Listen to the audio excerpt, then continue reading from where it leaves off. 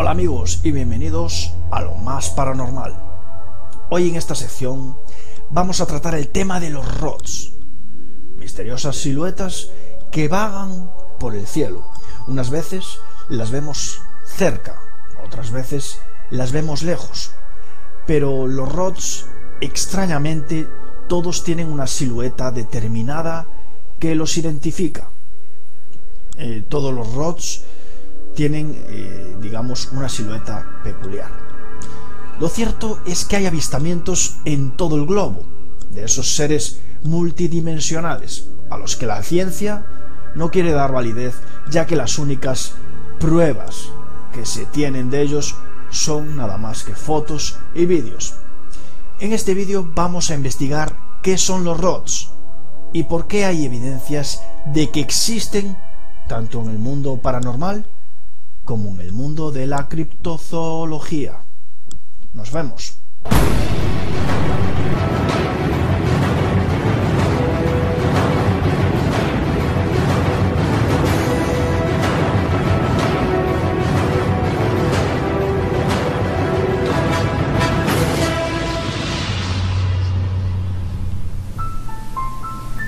Los primeros rods de los que se tienen constancia son los vistos en 1896, durante dos días seguidos en Crawfordville. La gente de esta localidad vio un objeto grande de unos 9 metros en el cielo. La gente lo llamó el monstruo del cielo. Y según dicen, se movía como una serpiente nadando en el aire. Tenemos más evidencias a finales de 1950, cuando Trevor James Constable fotografió Rods utilizando una película infrarroja. También se sabe que un hombre llamado Tom Ström grabó Rods en Suecia en 1989 y 1990 durante una grabación en el interior de un tanque para el Departamento de Defensa sueco. Por supuesto, nadie le creyó. Sin embargo, un equipo de Hollywood filmó el mismo tipo de rods como los que John Ström en un tiroteo. De esta forma quedó probado que los rods pueden llegar a existir. El término rod apareció cuatro años más tarde, cuando un cineasta llamado José Escamilla se armó de paciencia para filmar a esos posibles seres. Y al final lo ha conseguido el 19 de marzo de 1994 consiguió filmar lo que podría ser un Roth, ya que examinando los fotogramas vio como una extraña luz aparecía. Al poco rato, esa luz desaparecía velozmente en las películas. Entonces Escamilla se dio cuenta de que había capturado algo completamente nuevo, y sobre todo algo desconocido. Al ver los objetos en el vídeo, Karen, la esposa de José, lo acuñó con el nombre de ROTS, porque tenía un cierto parecido a los microorganismos vistos por un microscopio. Habían descubierto los ROTS, diminutos seres que vagan por la atmósfera y que tienen formas desconocidas. Al cabo del tiempo, el fenómeno se extendió y comenzaron a aparecer ROTS alrededor del mundo, sobre todo en Reino Unido, Suecia, Canadá, Noruega México y los Estados Unidos. Los científicos aún no creían en la existencia de los ROTS hasta que en 1998 apareció en escena un biólogo llamado Ken Schwartz. Este investigador estudió los ROTS y cree firmemente que son entidades biológicas anfibias, es decir, tienen la capacidad para entrar y salir del agua. Schwartz sostiene que parecen tener algunas similitudes con la familia de las criaturas conocidas como los cefalópodos, y en cierto modo se parecerían a los calamares, ya que hay descripciones de esos seres expandiéndose como un globo y rápidamente desinflándose, supuestamente para poder utilizar un mecanismo similar al de un calamar que aspira agua y chorros hacia afuera para propulsarse. Sus cuerpos no tendrían partes duras, con lo cual podrían desaparecer sin dejar rastro, de ahí la ausencia de pruebas de ejemplares muertos.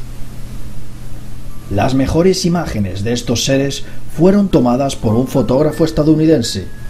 Este fotógrafo llamado Mark Little estaba haciendo un reportaje sobre paracaidistas que saltaban a una cueva muy profunda. cerca de San Luis Potosí, México, cuando los observó quedando completamente atónito. Comprobando las imágenes a cámara lenta, se dio cuenta de su enorme tamaño, de 2 a 4 metros. Pero, ¿qué son exactamente los ROTS y por qué la ciencia no les da validez? La aparición de este fenómeno dio paso a la especulación y a todo tipo de hipótesis y teorías, pero dejando aparte la explicación técnica y científica, la cual muchos investigadores no creen por no tener demasiadas pruebas constatables en cierto modo, muchos investigadores están totalmente de acuerdo de que son extraños objetos orgánicos, es decir, seres que están en cierto modo vivos. Pero ¿podrían ser estas extrañas criaturas seres de otros mundos? Mucha gente lo piensa. De hecho, lo normal es que la aparición de los ROTS coincida con la actividad ovni de una determinada zona. Claro está que los escépticos afirman que son aves, insectos o incluso nubes. Pero en las grabaciones de vídeo captadas alrededor del mundo se ven formas características que nos hacen descartar esa apreciación. Una reciente investigación detalla que los rods parecen ser de forma cilíndrica. Serían como criaturas que varían en longitud desde unos 10 centímetros a 3 metros y pueden viajar a velocidades de hasta 300 kilómetros por hora. Ellos aparecen volando por el aire mediante el uso de una membrana sólida ondulante que vibra muy rápidamente a cada lado de su cuerpo. Efectivamente, es similar a los calamares. Debido a la velocidad que se mueven, es difícil capturar varios rods a la vez en una misma grabación. Incluso las mejores cámaras de vídeo aún tienen problemas para capturar con detalle estos rods.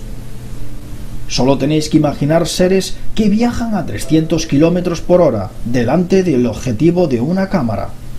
Son casi imposibles de capturar Solo cámaras que graben en slow motion de alta calidad pueden hacerlo. El misterio continúa, pero para la mayoría de los científicos y sobre todo para los escépticos, admitir la existencia de los rods significaría admitir la existencia de orbes, ébanis, que son como gusanos o serpientes que se ven en los cielos, y bueno, y en definitiva, cualquier tipo de entidad extraterrestre, sobre todo entidades que tengan carácter biológico. Así que probablemente ningún científico escéptico lo va a admitir, nunca van a admitir la existencia de estos seres. Y bueno, sin más que decir, espero veros pronto y muchas gracias por ver otro vídeo de lo más paranormal. Hasta luego.